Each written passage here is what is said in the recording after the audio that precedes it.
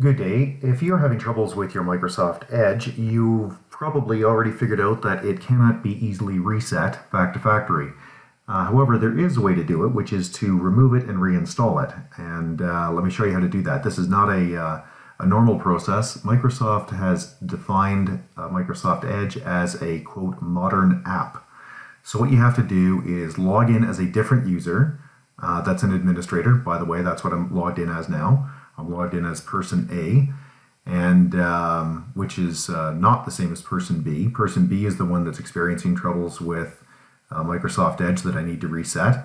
In her case, actually, it's the very first time I've seen it, uh, a browser hijack. So person B's uh, Microsoft Edge has been hijacked. I can't seem to resolve it.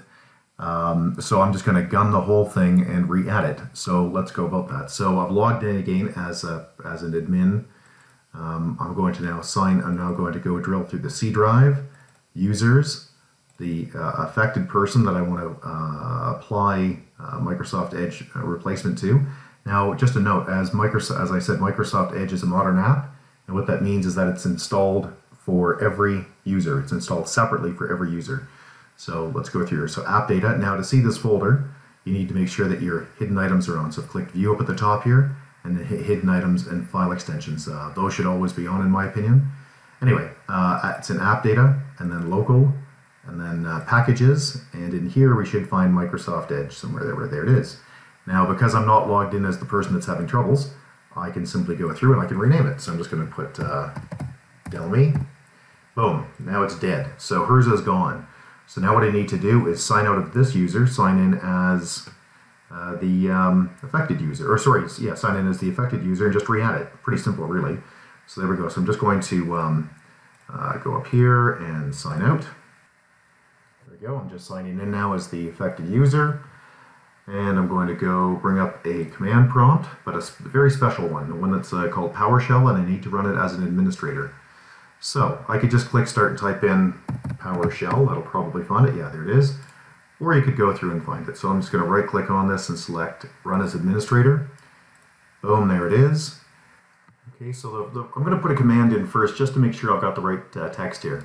So the command is get app package and then asterisk, you know, wildcard, edge wildcard.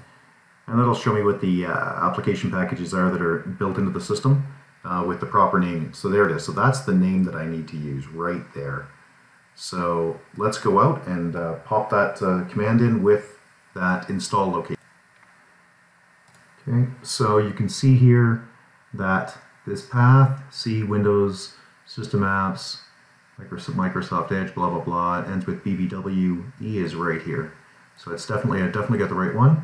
And I'll click OK on it. Or just press enter, I should say, not OK. There it is. And now let's see what happens. Hopefully Edge works. Without being browser hijacked. Yep, look, look, it thinks it's brand new, because of course it is, it was just installed. So there we go, that's how you solve a browser hijack, or how you clean up and do a completely hard reset on Windows Edge, like uh, that Microsoft Edge. That's it, please check www.urtech.ca if you have any other questions about this. Thank you.